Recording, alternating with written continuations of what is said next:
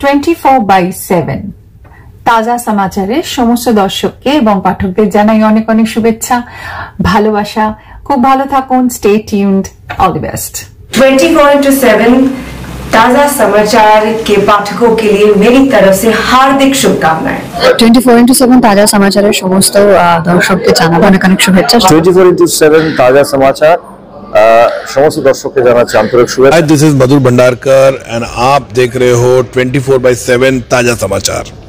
Best विशेष exclusive jewellery collection DTC London द्वारा best showroom award winner R R Agarwal jewellers Kolkata Jaipur के बाद अब रौरकेला में भी आर आर अग्रवाल ज्वेलर्स रिश्ता भरोसे का। सही भी नहीं पता यार किसका है।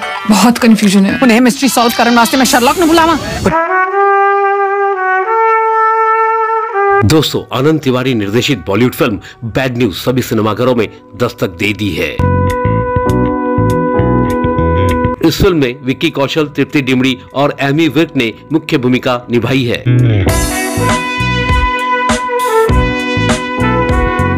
फ़िल्म की कहानी स्त्री के गर्भ में पल रहे ऐसे जुड़वा बच्चों की है, जिसके पिता अलग अलग हैं। एक ही रात में दो गुल कैसे खिलते हैं, फ़िल्म इसी को सामने लाती है।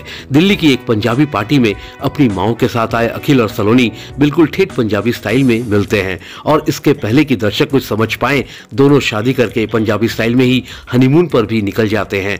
अखिल का अपना अतीत है। इसके चलते वो अपनी माँ की कोई फ़ोन कॉल मिस नहीं कर सकता। सलोनी इससे परेशान होती है। अखिल उसके साथ कुछ ज़्यादा ही पीडीए करता रहता है। सलोनी इससे और ज़्यादा परेशान रहती हैं। शौक और सपने का फ़र्क समझाने निकली कहानी में दूसरा हीरो गुरबीर है, जिसके होटल में सलोनी दूसरी नौकरी करने जाती हैं।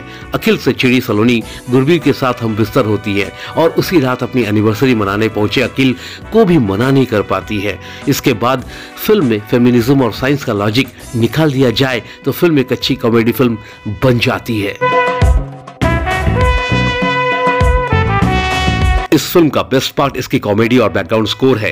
डायरेक्टर आनंद तिवारी ने इस फ़िल्म को काफ़ी क्रिस्प और मज़ेदार रखा है। अखिल चड्डा की एंट्री से लेकर सलोनी संग उसके रोमांस टकरार और गुरबीर संग अखिल की नोकझोंक तक हर चीज़ को देखने में आपको काफ़ी मज़ा आता है। हर छोटे बड़े सीन में गहराई और मस्ती का रंग इसका बैकग्राउंड म्यूज़िक घोलता है, जो सोने पर सुहागा वाला काम करता है। आनंद तिवारी अपनी फ़िल्म में आपको बोर नहीं होने देते, लेकिन कभी कभी महसूस होता है कि ये फ़िल्म में इतना सब कुछ जल्दी जल्दी क्यों हो रहा है?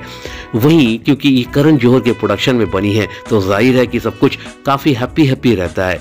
बड़े मसले भी आसानी से हल हो जाते हैं, जो देखते हुए आप समझ पाते हैं कि फ़िल्मों में ही मुमकिन है।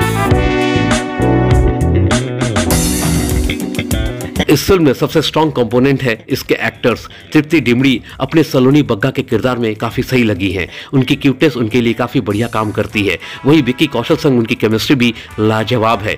गुरबीर पन्नू के रोल में एमी विर्क ने भी बढ़िया काम किया है। हालाँकि उनका रोल उनके लिए कम और दिलजीत दोसांझ के लिए लिखा ज़्यादा लगता है। मगर फिर भी उन्होंने उसके साथ पूरा न्याय करने की कोशिश की है। लेकिन इन दोनों और फ़िल्म की बाकी कास्ट भी ज़्यादा स्ट्रॉन्ग है। अखिल चड्डा के रोल में विकी कौशल जो अपने रोल को गोलगप्पे के पानी में मिलाकर पी गए हैं। दिल्ली की बर्फ़ी वाला राजकुमार राव नहीं जो टैलेंट दिखा के बाद में कृति आयुष्मान को सौंप दूँ। हाँ तो मैं भी कोई मनमर्जियाँ वाला विक्की कौशल नहीं हूँ। Don't get personal exclusive jewellery collection DTC London द्वारा best showroom award winner R R Agarwal jewellers Kolkata Jaipur के बाद अब रौरकेला में भी आर आर अग्रवाल ज्वेलर्स रिश्ता भरोसे का টোয়েন্টি ফোর ইন্টু সেভেন তাজা समाचार के सभी दर्शकों को साधना सरगम का नमस्कार টোয়েন্টি ফোর ইন্টু সেভেন তাজা সমাচারের সকল দর্শকদেরকে আমার পক্ষ থেকে অনেক অনেক শুভেচ্ছা ट्वेंटी फोर इंटू सेवन ताजा समाचार के हमारे तरफ থেকে ऑल द बेस्ट